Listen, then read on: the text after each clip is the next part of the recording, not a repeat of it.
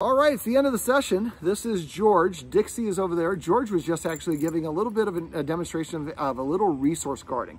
I think George is a little bit insecure, and sometimes when he sees that Dixie gets a treat or something, uh, he growls. And so I'm going to talk about that first, and we'll kind of go through a couple other things. So resource guarding is, although it is, uh, when we look at it, it seems aggressive. It's actually not classified as aggressive behavior because once you remove the resource, the dog typically, the behavior stops. Now, George, I think, doesn't like Dixie getting things that he wants.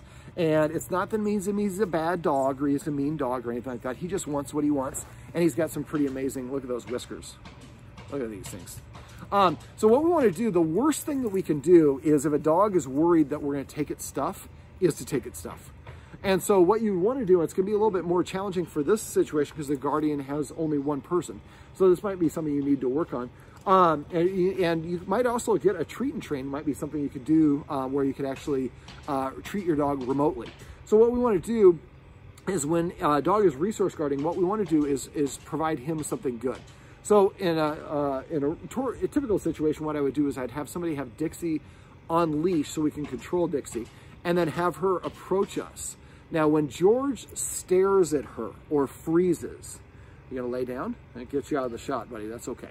Um, so when when when he gives his first indication that he's uncomfortable, that's when we're gonna have that person stop.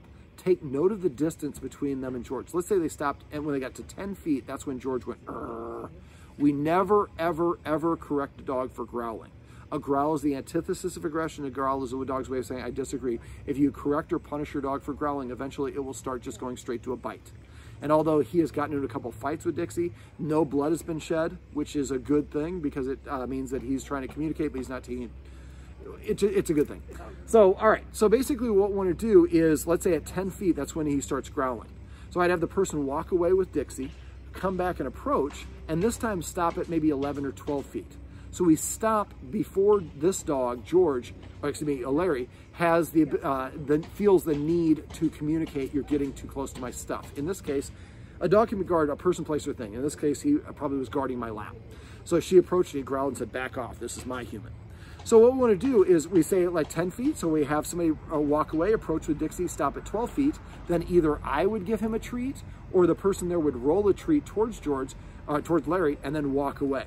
And then they approach from this angle, then they approach from this angle, this angle, this angle. We want to approach from all sorts of different angles. Dogs don't generalize well, so we want to kind of approach from all different angles at uh, 12 feet.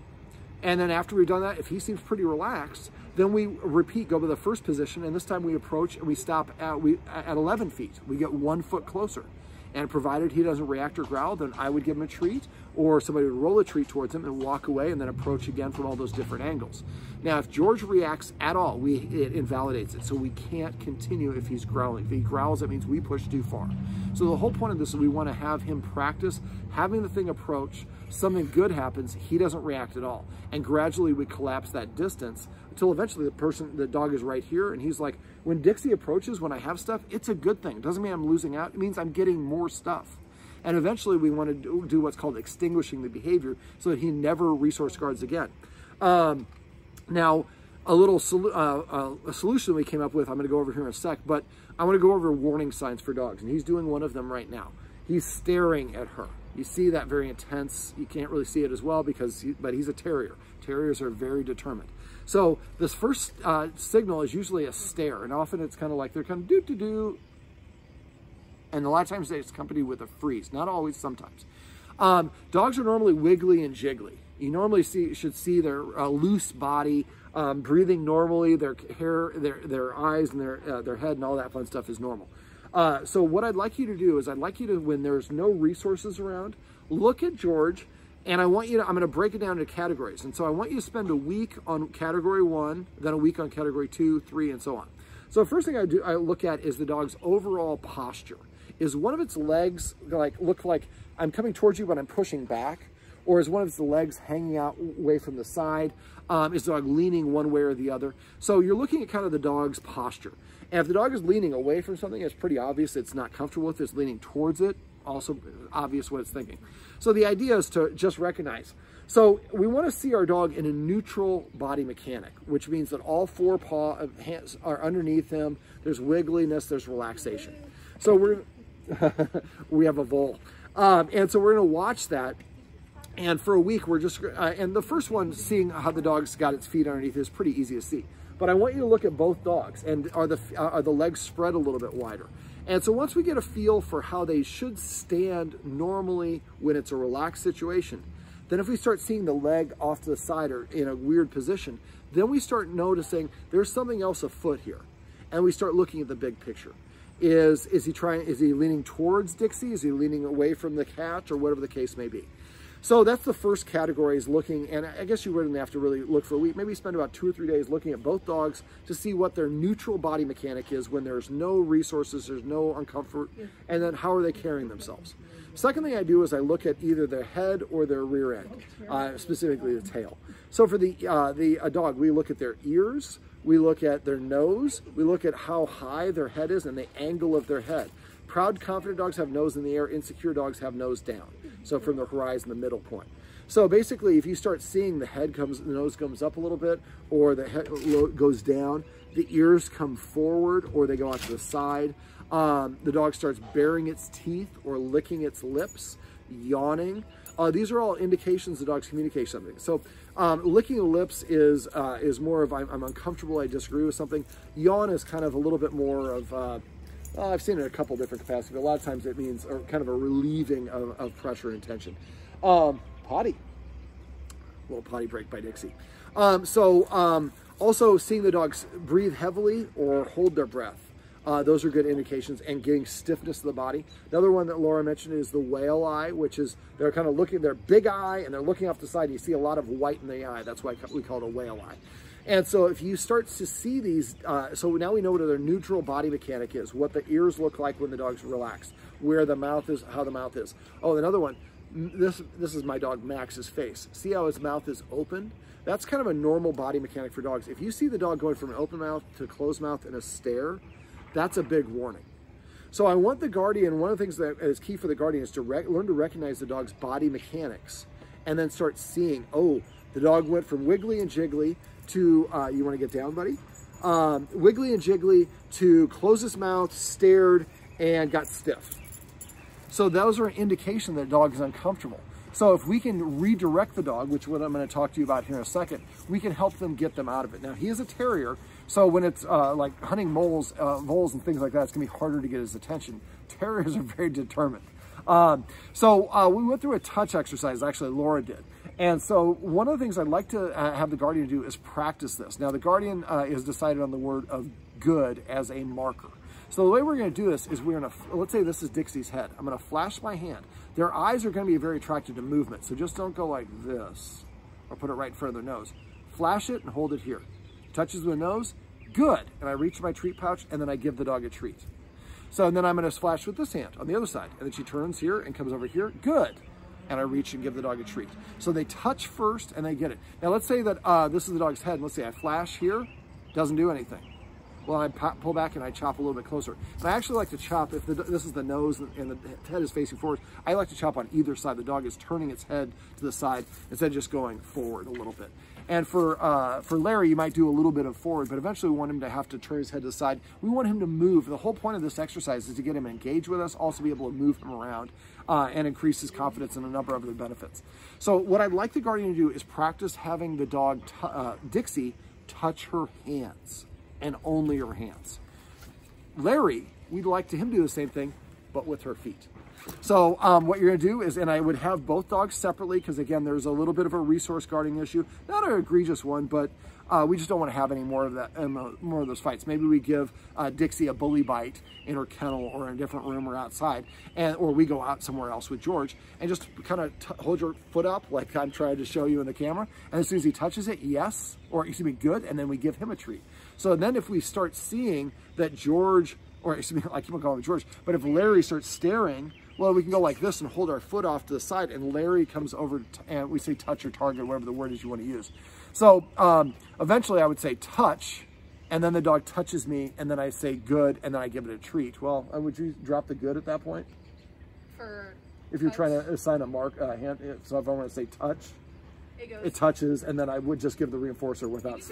You, can still say good. I usually, a lot of people will drop the good in between, uh, but you can do either one, whatever you're comfortable with. down or he just laid down. So that's a little passive training. We'll talk about in a minute. So, um, so I want the guardian to practice this in different rooms in the house and all over the place so that you can get, just go like, hold out your hand like this and the, Dixie will run from 10 feet away. You hold your foot out like this and uh, Larry runs and uh, touches. And so th think of a word touch or target and start, once the dog are doing it consistently, say that word right before you do the exercise. Touch, and then he touches you and you say, yeah, good, and then give him the treat. So the order is the command word first, the dog does the action, and then uh, uh, while it does the action, it gets the marker, which is yes, in this case, good. And then they get the reinforcement, the reward, the treat, the pat, the attention, or whatever it is, the end. So think of it kind of in that order. Um, so um, I want the Guardian to start recognizing that if you see uh, Larry is staring or offering in those signals that I talked about earlier, and you might also want to look at getting a book uh, on or a DVD or look on uh, for a DVD on dog body language and it'll kind of talk a little bit more in detail the things to look for. But once you know what the signals are and you see that, that Larry's staring, um, right there, he just gave an example off camera. So uh, Dixie was on her guardian's lap. She jumps down and, and she kind of turned around and came back and, and, and Larry went like this and he kind of oscillated back down. So when he gets stiff and kind of leaning forward, that's kind of when we want uh, to pay attention. Thank you. Um, and so, um, all right, so um, we also touch, and there we go. Now make sure you, uh, when you're doing that one, you might like actually take a treat and you might even rub it on your heat, on your on your sock a little bit and that's going to cause him to want to do and so you want him to go there without the treat in your hand or on your foot. So if you put a little smell there and he comes and touches it he's accidentally doing it then we say good and we give him the treat from somewhere else. After a while he'll start doing that more and more often. Um, and then George would be like, or, or Larry's gonna be like, wow, she's really into my into feet, but whatever, I, I get the treat for doing that. Now, right now, it's uh, he's kind of distracted with uh, being outside and there's a vole around, so this is not a good time to try to practice. You want to try to practice when the dog is, is amicable and can be open to things. Don't try to force it. Uh, and if you get frustrated or the dog gets frustrated, make sure you stop. You always want to end on a good one. Wow, she, Dixie's very comfortable. She's going to the bathroom number two times. Um, and so the idea is, uh, like I said, to get them out of trouble before they get into trouble. Now, the very first thing we talked about in the session was about stimulation. These are older dogs, so they don't need a ton of exercise. That's kind of an interesting move that she just made. Um, and uh, But I think a lot of mental stimulation will help them. So uh, you have a bunch of Kongs, fill them up about halfway or more. Um, scent games, Google scent games. Um, get some treat dispensing toys. Um, they have all sorts of puzzles, their shapes, and you have to move levers over or slide things around or turn them around or roll a ball a certain way or whatever. There's a whole bunch of different ones out there. Now, because the dogs have a potential resource guarding issue, I'd like you to order an X Pen, and hopefully by the time you watch this, you've already ordered it. It's on Amazon. It is on sale today. And so just get one about 30 inches or so. And then basically you put it in your living room, and George can be in it this time with a bully stick, and Dixie's outside, or Larry, excuse me, and then Dixie's outside with a bully stick So we know that they're safe and they can't get to each other. Now, if Larry is staring, if he's giving any of those signals, then we would probably want to do what I started talking about at the beginning of this video. That's how you could do this. You put him in there with a bully stick and then approach with Dixie. Now, it's a big area, but you could double over the sides to make it into a smaller area. And then so he's got a bully stick, and then you approach with Dixie, and he, and he Larry growls. We stop, we take note, we walk away, get a good value, high value treat. We approach, we stop one foot away, we toss the treat over into the fence. So now when Dixie comes, it's a good positive thing. Um, all right, let me see. We also talked about uh, so uh, for the uh, uh for the uh, games search Chewy and Amazon, and you might just go to Google and just search for uh, dog puzzles and trees dispensing toys and find some good options for there. Um, yes. Now remember when she, Dixie's right here at my feet, when she is whining and whimpering, wait for a second or for her to stop, or when if she doesn't, just tell it, sit, ask her to do a couple things, and when she sits, and ask her to sit over here, do a couple things, and then get up and take her for a walk, or take, her and play, do the Frankenstein, chasing her around the house, or whatever those things are. So when she's manifesting, I know it's frustrating when you hear a dog whimpering or whining at you, but get like, thank you, just on cue. But instead of listening to that, because she's practicing doing that, eventually we give in or we get frustrated. So the very first time she gives you one of that, then be proactive. And again, you might want to think about keeping a journal for a week or two, writing down every time she whimpers, write down that time. You might find every day at 4.15 she starts whimpering. Well, then we can start exercising her at 4 o'clock or give her a puzzle at 4.05. And so we beat her to the punch. We're proactive about that. Uh, and that makes a big difference. Um, so um, let me see. We'd also like them to practice being together in that X pen, like I mentioned, with bully sticks or, uh, uh, well, yeah, I mean, I guess I kind of already covered that.